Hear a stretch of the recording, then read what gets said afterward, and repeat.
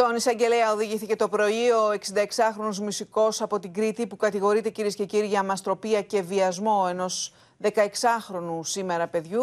Μίνα Καραμίτρου, καλό μεσημέρι. Είναι αποκαλυπτικές λεπτομέρειες που έρχονται στη δημοσιότητα για το πώς η μητέρα του παιδιού ανακάλυψε όσα όσα συνέβαιναν και για το πόσο ο 66χρονος απειλούσε το παιδί από την ηλικία των 11 ετών. Ναι, Λίνα, γιατί ήταν η μητέρα αυτή που ανακάλυψε τι συνέβαινε τα τελευταία πέντε χρόνια με το παιδί της, όταν προχθές συγκεκριμένα πήρε το κινητό του παιδιού της για να ψάξει κάτι και ανακάλυψε ξαφνικά φωτογραφίες και βίντεο με το παιδί της γυμνό. Όταν το ρώτησε τι ακριβώς είναι αυτές οι φωτογραφίες, τι είναι αυτό το υλικό που βρήκε στο κινητό του τηλέφωνο, το παιδί δεν άντεξε και της περιέγραψε τι συνέβαινε τα τελευταία χρόνια, πώς το εκμεταλλευόταν ε, ο 66χρονο, πώς του έκλεινε τα ραντεβού, πώς αυτό το υλικό, το βίντεο και τις φωτογραφίες τις είχε ζητήσει ο ίδιος και αμέσως ε, πήγε με το παιδί στην αστυνομική διεύθυνση Ηρακλείου. Ε, τώρα να σας πω ότι το παιδί είπε επίσης στους αστυνομικούς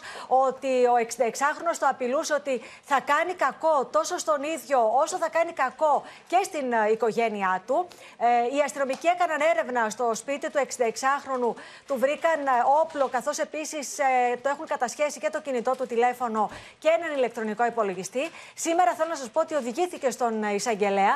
Αυτή την ώρα είναι ακόμα μέσα στο γραφείο του δικαστικού λειτουργού και αναμένουμε να δούμε αν θα εκδώσει ένταλμα σύλληψη σε βάρος του. Να σας πω τέλος ότι ήδη έχουν ταυτοποιηθεί πέντε άτομα, ανάμεσά τους και ένας γιατρός τα οποία έκαναν τα ραντεβού για να βιάσουν το παιδί, ε, ενώ έχουν ταυτοποιηθεί και 28 προφίλ ε, στα social media, συγκεκριμένα στο Instagram.